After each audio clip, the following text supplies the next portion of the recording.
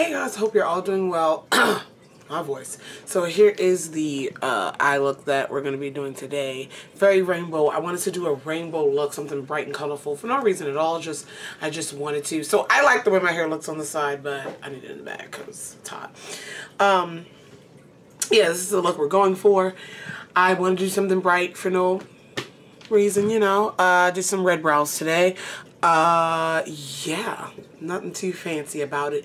Um, I don't have specific shades because I used a mixture of four palettes. So I'll just let you know in the intro, I used um, a shade from the Take Me to Brazil palette from BH Cosmetics, as well as the Take Me Back to Brazil palette from BH Cosmetics. I used some shades there.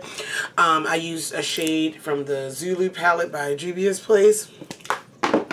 I also used some shades from the NYX Ultimate palette. All of these are rainbow palettes. Stay tuned. I am going to have a... Uh, these are like my favorite rainbow palettes and so I'm going to kind of talk about those, do a, like a little review video on them um, to give you some recommendations and things. But yeah, just the colors of the rainbow, orange, yellow, pink, red, blue, green, purple type of thing. So whatever you have, you can use it. I just refer to them by colors in the voiceover. Oh, God.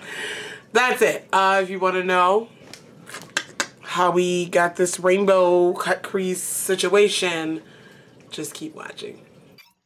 Alright y'all, here we go. We are priming these lids with some Urban Decay Primer Potion um, on the top and the bottom of the lids. And then I'm going to put a white base down. This is ColourPop's Cream Gel Liner uh, in the shade Exit. All the products will be listed down below too, by the way. I'm going to blend this out. This sets really fast. Remember, it's a gel liner, not a base, so so it looks a little wonky, but I am setting it down as best as I can on the top and the bottom.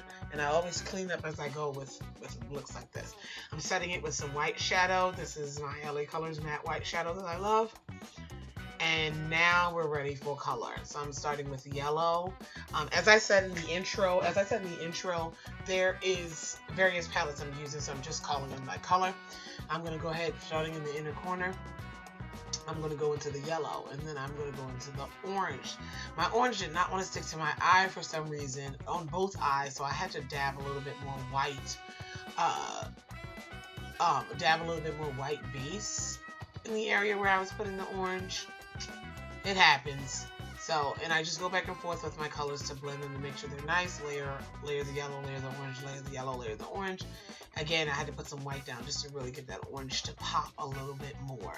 And so that's all that I'm doing here, and dancing and singing to music. So I said voiceover. Uh, then I'm going into my pink shade. Uh, it's a bright fuchsia pink. I thought that would go nice blended with the orange. And so I'm going to go ahead and I go back and forth. You see how I touch back and forth, um, blending a little bit. That was kind of a harsh line. And that's how we do it. And then on the bottom part, or the corner, outer part, we're adding red. And so that is the gradient for the top part of the crease part, if you will however you want to put it. So now I'm going to cut this crease with some NARS Soft Matte Concealer. Uh, that's kind of what it looks like once it's cut. I could have used a lighter concealer. I didn't think about it, but. Now I'm going into like a light blue, a light blue teal situation. That's what I decided to do first before I go into like true blue, if you will. So yeah, I kind of layered these two blues just to give an, a better gradient of blue. Uh, on my eyes, I think blue gradients are really pretty. and I just want to go blue. I don't know. Just want to do two blues. Yeah, now. So this is the true blue now that I'm putting on. And again, the same concept with the uh, lighter colors, the warmer colors.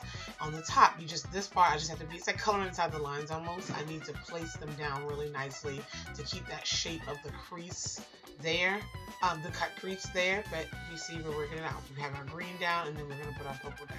And I always look at the other eye for reference.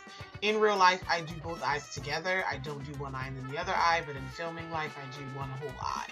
Just so we have a reference point as we're doing a video, especially something that's complicated and like not traditional, if you will, as this. So it, it you know. Anyway, I'm going to place my tape down for some wing liner. I'm going to use a brush with a cream gel liner from Tarte uh, because a liquid liner, I don't know, I just feel like I got a sharper line this way with my tape.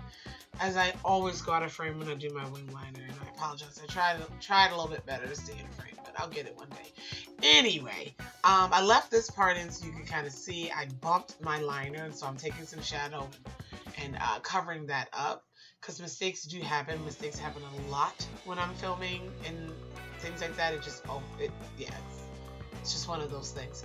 And so, I left all then I'm putting my lashes, I'm sorry, I'm putting my glue on my false lashes here, taking those down, getting ready, peeling off my tape, you know, check the sharpness of that wing. We're going to curl our lashes and I'm putting on some L'Oreal Voluminous Feline mascara. Um, it'll be listed below again. And getting those ready for lashes. I'm going to put a black liner on this because I like what the rainbow looks I like to be anchored with the black. I think that looks really pretty. Bright, colorful eyeshadow and a sharp black wing or a nice black liner. Also, especially I wanted to wear some thick dramatic lashes with this look. And so black liner definitely hides that. And I'm going to put the same color combination on my lower lash line underneath the black, kind of smudged in with it as I did in the cut crease area, the blue-green gradient, blue-green-purple situation. And those are the eyes with the red brows. So for my face, I'm going into my Milani face oil, uh, my rose oil. I've really been enjoying that. And I'm going to prime with some Peter, Top Peter Thomas Roth Skin to Die For mattifying pore minimizing primer. I'm using two foundations, the NARS Matte Velvet Skin Tint and the Black Up Cream Foundation. No reason, just they're in my collection. I haven't used them in a while. I mixed them two together to use two at once, honestly. That's why I did it. I've never done that before, just I have a lot of makeup and I like to use it. So I am blending this all over, down the neck, around the ears. I don't put foundation on my ears, sorry. I just, I can't. Too many piercings and it's gross and all that. So anyway, I'm going ahead and I'm blending out this foundation. It, this combination is really nice, really pretty, really matte. so if you want to try it, you own those two, go ahead. I'm taking my Tarte Shape Tape to highlight under the eyes as Nelson walks in and he's dancing to some whatever song that was on. Um, and I am blending this out underneath of my eyes and down my center of my face. You know, my normal highlight situation was a beauty, beauty, bleh, beauty blender. Y'all know. Y'all know. Um, I did not bake this look. We are going to set it though with some Black Radiance Soft Focus Finishing Powder in the shade Golden Almond Finish, which is my light yellowy uh, shade of powder. This is a pressed powder, not a loose one.